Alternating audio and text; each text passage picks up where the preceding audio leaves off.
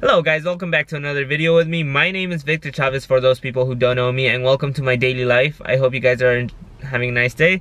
I hope you guys are enjoying your time and I hope you guys are doing whatever you guys like doing to the full potential that you guys can.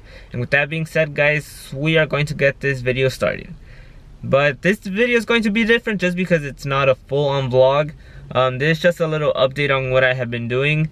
So since I've last uploaded, it was like probably a month ago, three to four weeks. Um, but the thing is that um, I went out with my family for uh, for a whole week.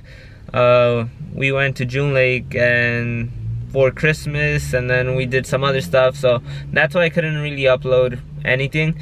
But uh, aside from that, the month of January, I'm not going to be uploading any other video besides this one. Um, just because I wanted keep you guys updated with what I have been doing. So for this month, it's going to be a month of growth.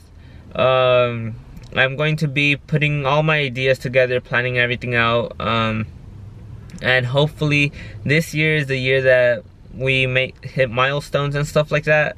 Um, I'm super excited for this year, um, not only for my YouTube channel, but also for my photography, also for the business I am doing, which is Primerica and Kangen Water.